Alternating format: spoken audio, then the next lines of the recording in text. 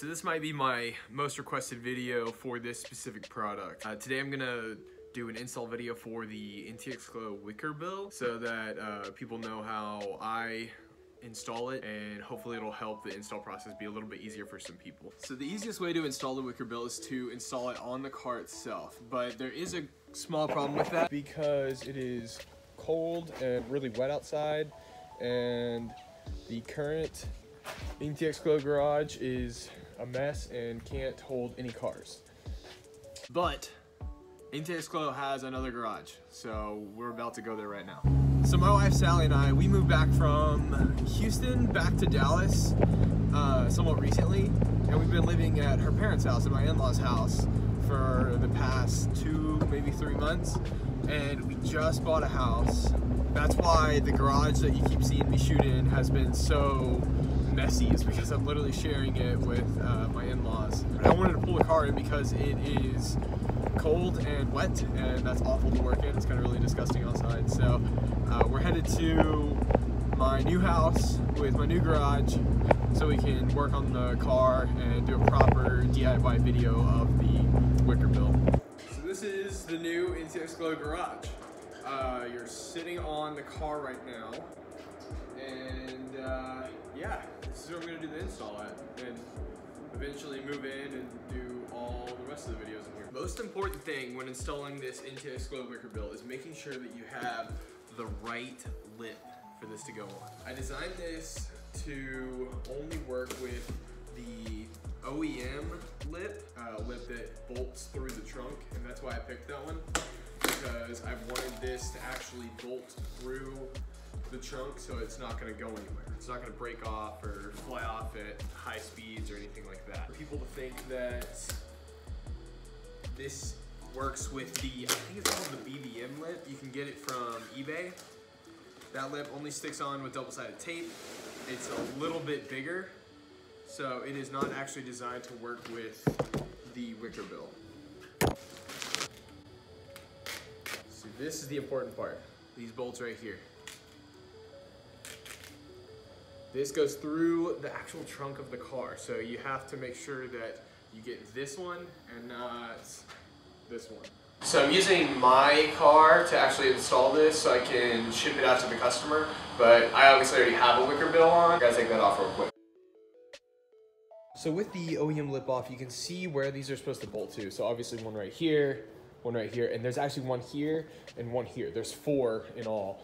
Uh, mine actually broke, so I only have two in the middle, which is not recommended at all. It might fall off, it could fall off, and it could definitely leak water into my trunk.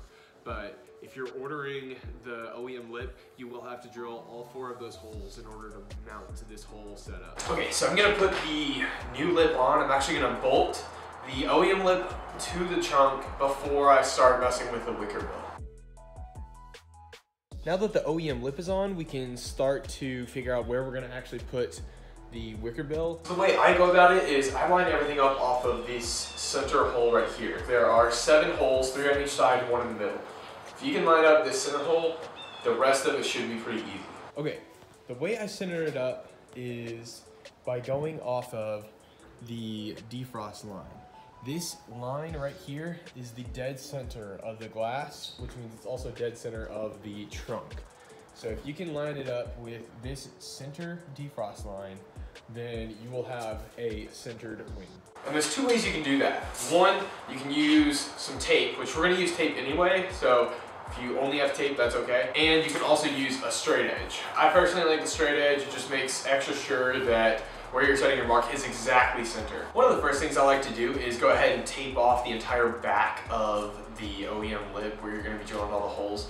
You don't wanna scratch the paint or chip the paint right there. So it's a good idea to go ahead and cover it in tape.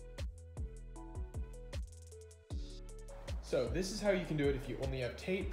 As you can see, I put the defrost line on one side of the tape line, just hold it really straight, and that side right there should be perfectly centered.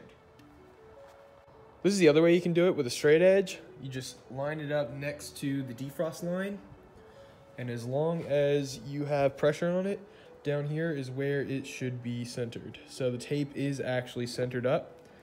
that's our center line. So now that we have the center line going side to side, we need the center line going up and down. I do this all on feel. I don't have a very specific way of how I do this, but basically I hold this up to where my center line is, and then I line it up with the very bottom of the lip. You don't want it touching the trunk. If the bottom of this is touching the trunk, it can damage your paint. So it's pretty important that you don't let it touch the bottom of your trunk. The good news is that I designed it so that if this part isn't touching the trunk, the rest of the lip will not be touching it. So all you have to do is get this part lined up and the rest of it won't touch the trunk. So I'm gonna do it right now. Well, all I'm doing is setting this up onto the trunk right at my center line. I'm gonna feel on the bottom, line it up with my fingers, and then make a mark with a Sharpie.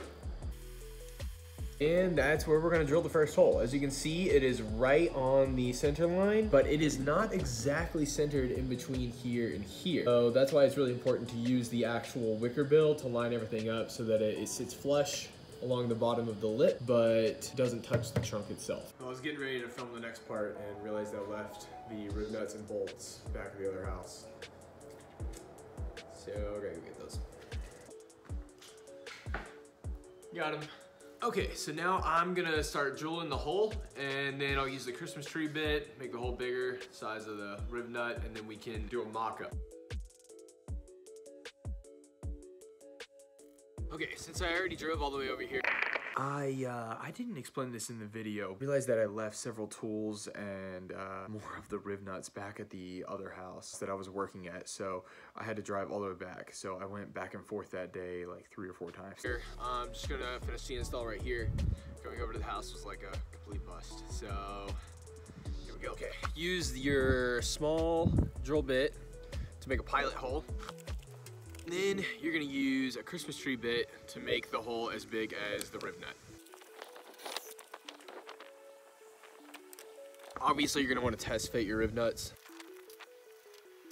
All right, now that I have that center hole drilled, got my riv nut tool and riv nut, and I'm going to go ahead and put this one on.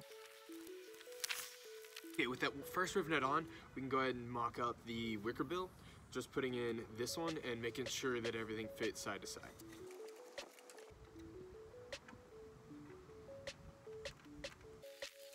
Okay, so what I'm checking for is to make sure that the wicker bill is lining up on the bottom of the lip. See, you can see the lip, which is blue, is actually resting right at the bottom of it and is not touching the trunk.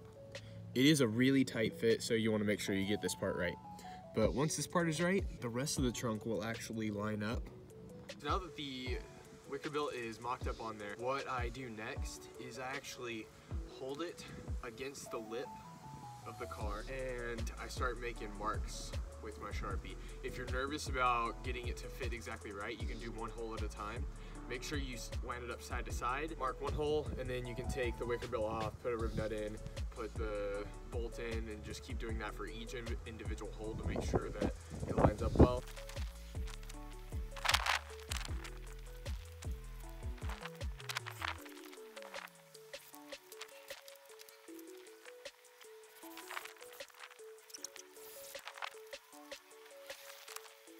Just saw me do two holes. So now I'm gonna put the riv nuts in those holes and then throw the wicker bill back on and make sure that all the other holes are gonna line up.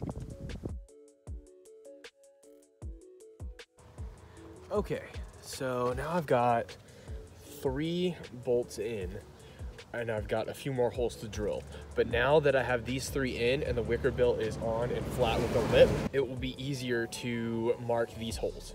So all I'm gonna do now is mark these four holes with a Sharpie, making sure that I push the wicker barrel all the way against the lip so that it has a good mark.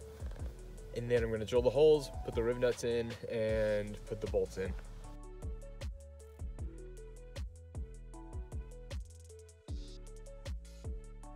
Now that I've got all the riv nuts in, I'm going to remove the tape and then install the wicker bill and it should be good to go.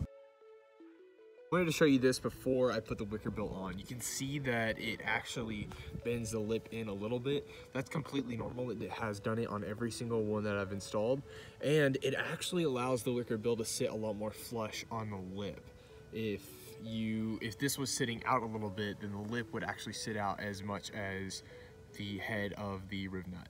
So a little bit of bending in the lip is no big deal. And that's how you install the NTX Glow Wicker Bill. The only last thing that you can do is this gray actually peels off. So you just start at the corner here and peel it off, but this is getting shipped out to a customer. So I'm not gonna peel that. If this process looked too scary, or if you just really don't wanna do it, we offer pre-installation. That's what this is right here. So whenever you get this, you'll get the lip and the wicker bill installed together already.